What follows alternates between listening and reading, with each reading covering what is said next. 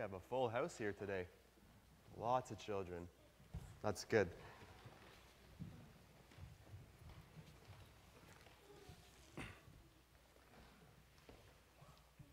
It's great to see so many children and adults too to come out and to worship the Lord together. And that's why we're here. We want to worship the Lord. So, first thing we're going to do, we're going to have a little test and see who remembers what we talked about the last time I was teaching children's lesson. Anybody remember where we were reading from the Bible? Yes? That's right. We're reading from Genesis. We read about the creation. Part of it, anyway. We haven't finished yet. We're going to uh, read a little bit more about it today. So, one more really important question. I hope everybody knows it. And you can all just shout out the answer. We're going to have a little quiz to see who, who remembers about the creation.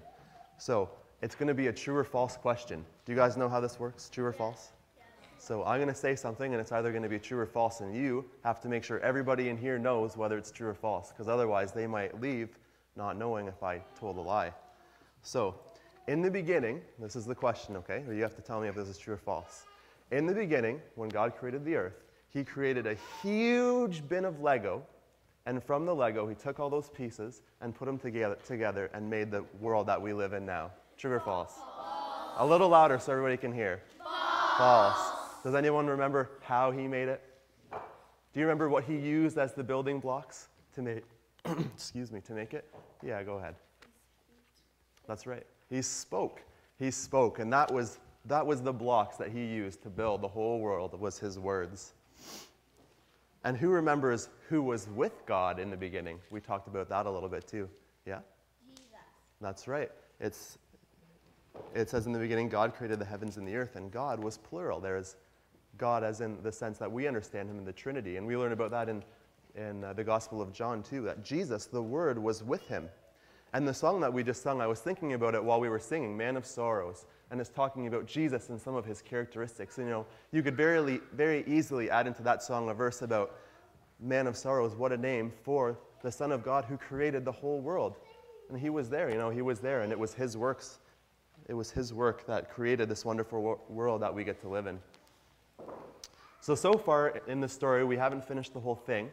We've seen God create the earth, and He created the land and the sky, and He made separated those things, and He created light, and He separated the light from the darkness, and then He made something to rule the day and something to rule the night. One more question for you guys. That's right. The sun to rule the day, the greater light, and the lesser light to rule the night, the moon. And that's kind of where we left off. And we're going to continue and we're going to talk a little bit about the last three days of creation, and they might be almost the most wonderful when we think of all the things that God's made. And we're reading in verse 20 for anyone who wants to follow along, or if you kids have your Bible, I see a couple Bibles. We're going to be in Genesis chapter 1, verse 20.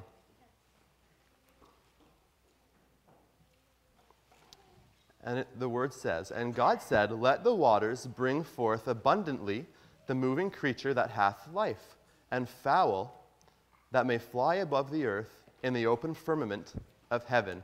And we talked about that a little bit, right? The firmament was the sky. That's what he's talking about there. The birds are flying in the sky. And God created great whales and every living creature that moveth. And the waters brought forth abundantly after their kind, and every winged fowl after his kind. And God saw that it was good. So, a couple things that we, that we see here it was God created all the fish of the sea and all the birds of the sky, and He created them in the same way that He created the plants. He made them, first of all, He spoke them, but He made them in a special way that they, they reproduce after their kind. So a bird doesn't make a fish, and a fish doesn't make a bird. A fish makes a fish, and a bird makes a bird.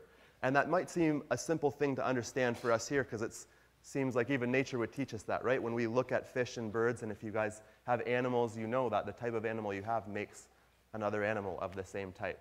But you know, there's a lot of people in the world that think from fish came everything else. That from a fish came a cow, and from a fish came a bird. And you know, it sounds pretty silly when you say it like that, right? You know, it doesn't change when you say millions of years in between. It's still silly. The Bible teaches us that things come after their kind. And uh, I think that's the way nature teaches us uh, that earth exists as well. Now, I'm sure we've all seen some pretty interesting creatures.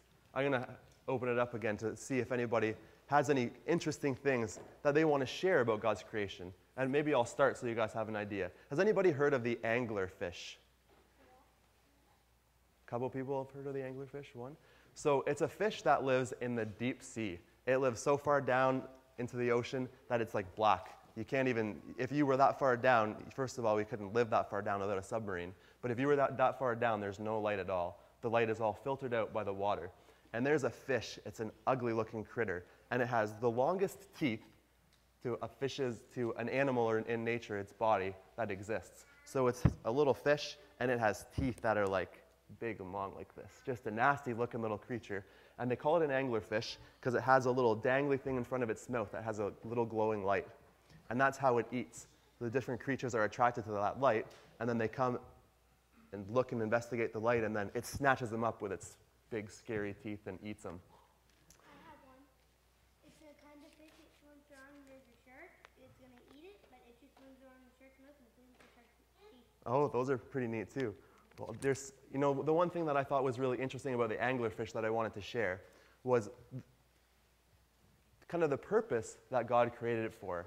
And you know, I don't know if we really know the purpose that God created that fish for, but I think maybe the whole purpose of that fish was just to glorify Him. Because did you know, do you know when that fish was discovered? It was discovered in 1968. Now, it's possible that one of those fish died before 1968 and washed up onto the water and somebody would have seen it, but it's very possible that nobody on earth had ever seen that fish before 1968, not even Adam that that fish was in the bottom of the ocean, completely separated from mankind, so that we would have never seen it. We would have never looked at that fish and said, Whoa, look at that creature. God is such a wonderful God who made that really interesting, creative creature. And it was just in a world that we couldn't get to until they made submarines and things like that. And now we get to see those things in uh, documentaries and things like that, and we get to enjoy those things, and we can say, Wow, God is so creative. Look at that incredible thing that He made. It's a little scary and creepy, and we don't know why he made it like that, so scary and creepy, but God made that thing. And the only thing that it did, it lived at the bottom of the ocean, swam around, and ate other fish until 1968 when we discovered it and we could see it and say, wow, that's pretty neat. I kind of think that's cool that God made that and it existed for so long and did nothing really but glorify Him. It just lived down there and He was the only one that really got to appreciate it. Does anybody else have something really neat, like a fish or a bird that they can think of? That's a kind of a a special thing that God created? Yeah? A frog fish? What does it do?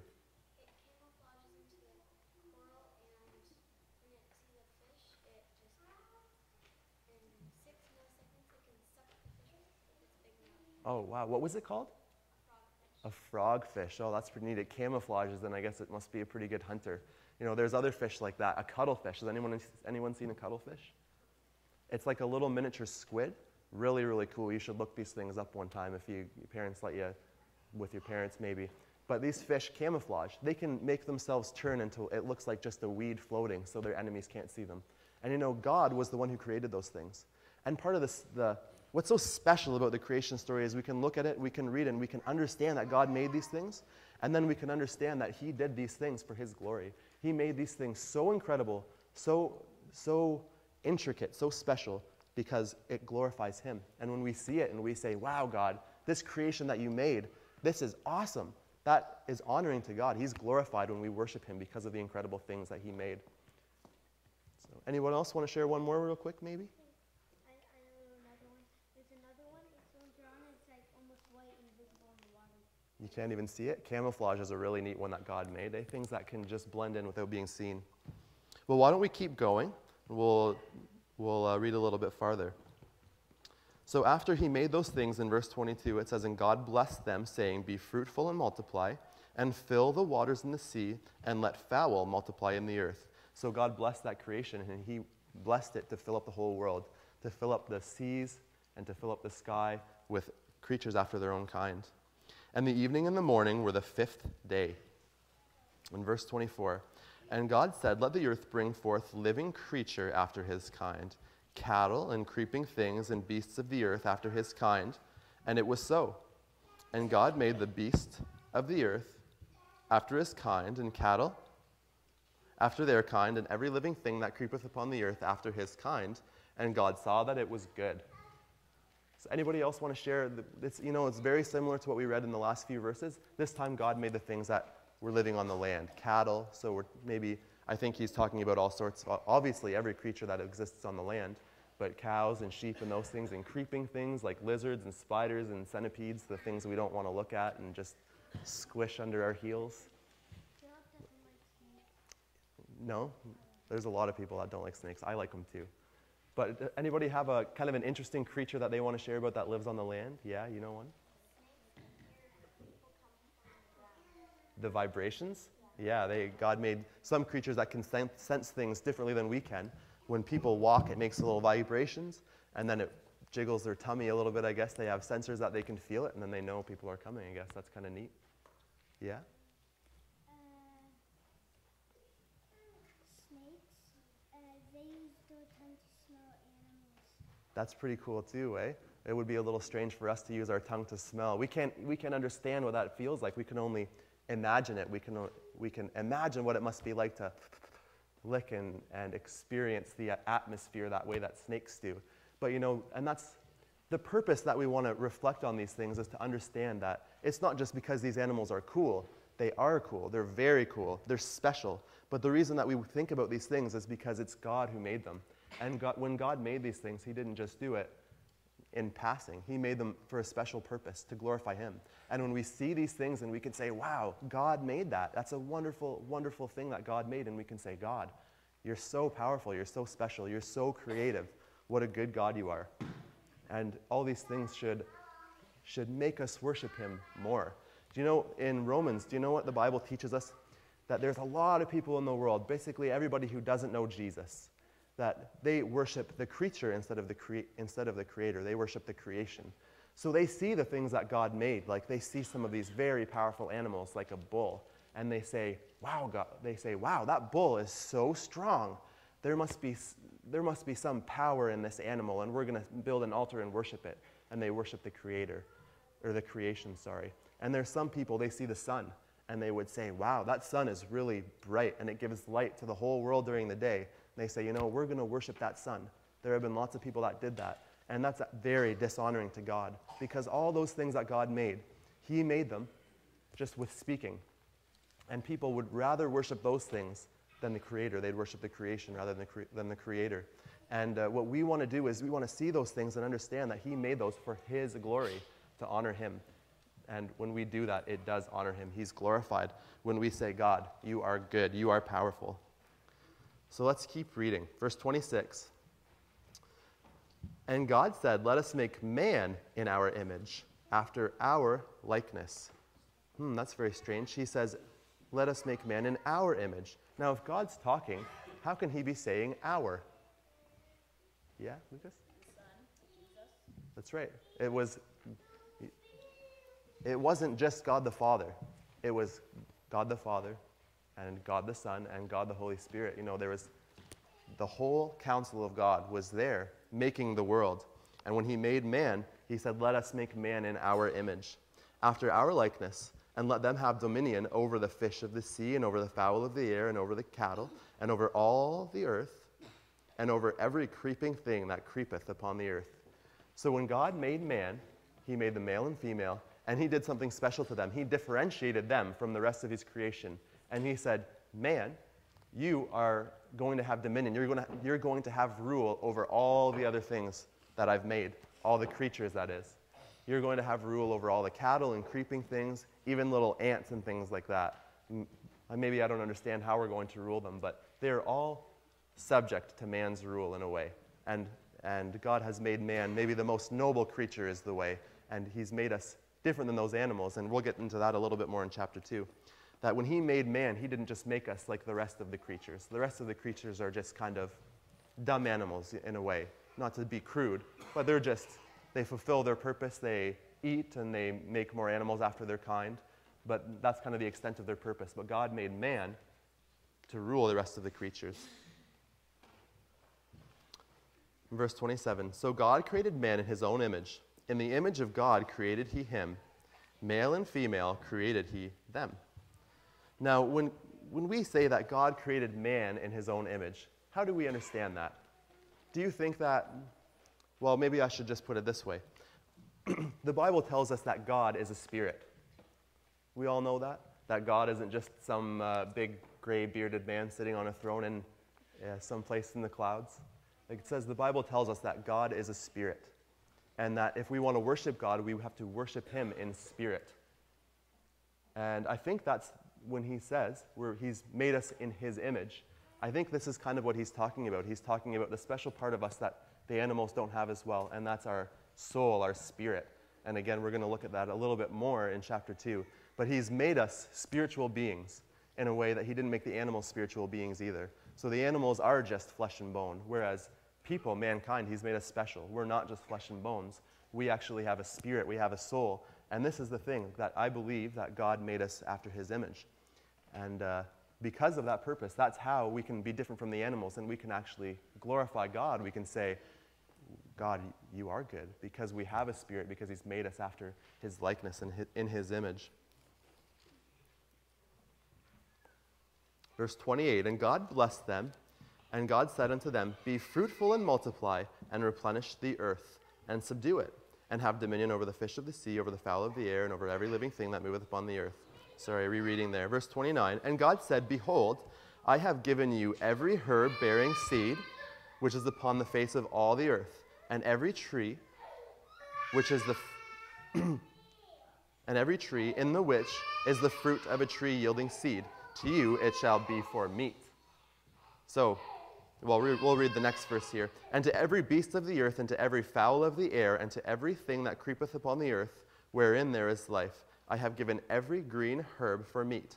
And it was so. So, did you know what all the creatures in Adam and Eve, what, when he made those things, do you know what they were eating? We'll see if somebody else knows yet. Well, actually, they weren't eating bugs yet. No. That's right. When God made, when He first made the heavens and the earth, did you know even lions ate plants? Did you know even sharks? Well, I should, maybe not sharks, because it actually says, the Bible says, to every beast of the earth and fowl of the air, and thing that creepeth upon the earth, wherein there is life, I have given every green herb for meat. And it was so. So he actually didn't say anything about the fish of the sea, but all the animals that were on land and in the air, he made every green herb for them to eat, including people. So before, um, before Adam and Eve sinned, all they were eating was plants. They were eating fruits and vegetables and things like that, and they didn't get to eat meat. Now, when I hear that, I'm a little disappointed. Yeah, I've got a couple meat eaters in here too. Yeah, I like to eat meat. So it doesn't really sound like paradise, but who am I to say? I'm sure God knows much better than I do. I'm sure if I just ate plants, maybe I'd enjoy them a lot more. Yeah?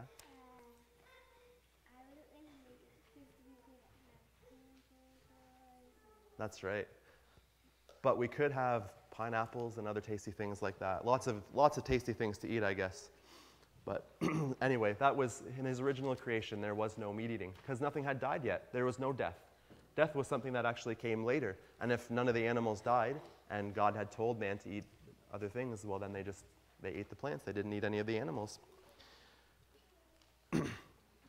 now, there is something interesting about that too is that in some of the other places, in Isaiah and places like that, God actually talks about the lamb and the lion dwelling together. Because did you know one day God will remake the earth? Right now, the earth is, is in, a, in a state that's not perfect anymore. In the next verse, God says, And God saw everything that he had made, and behold, it was very good. And the evening and the morning were the sixth day. So during that time, everything was good. And when I read that, I kind of think that there, if everything's good, then there's nothing bad. I think that's a pretty safe thing to say, right? And I think we can say that death is bad and sin is bad and all these things are, they're kind of not good things. But when God originally made the earth, He made it perfect. Everything was good. And uh, that's kind of, in a way, that's, uh, that's the ideal. That's the perfect world that God had created. But when Adam and Eve sinned, that all changed. And the earth wasn't perfect anymore. And there was bad in the earth. It wasn't all good anymore. But the Bible teaches us that one day He will make the earth perfect again. He's going to destroy the whole thing with fire. And it sounds like a pretty bad thing. And it's kind of a scary thing to think about. But He does it with a purpose. He's going to destroy the earth because he wants to make it again, and he wants to make it again perfect. And he, in the, during that time, the Bible teaches us that the lamb will dwell with a lion. Now, we know that's not now, because what would happen if you put a hungry lion in with a little lamb, what do you think would happen? I'm pretty sure, right? I think he'd enjoy it too. Yeah. But uh, there's going to be coming a day when God makes the earth again that it's going to be just like it was, at least similar to like it was in Genesis, where those animals wouldn't eat each other. They'd actually dwell together in peace. And I, correct me if I'm wrong, somebody who's older and wiser than me, I haven't looked this up, but I think in that same passage it talks about a child and a snake being together. What mom would put their, would put their baby together with a rattlesnake? Would put a rattlesnake in a baby's bassinet or something like that? Not very many, right? That wouldn't be a very good thing. But there's going to be coming a time, and even here in the Bible, if there was a baby, you could have put the most poisonous snake right in there with it, and it would have been totally fine. They didn't attack each other, there was no death, it was just peace. Kind of an interesting thought, isn't it? Well, we're finished the chapter, and uh, maybe we'll save chapter two for the next time. So if you kids want to go and have a seat.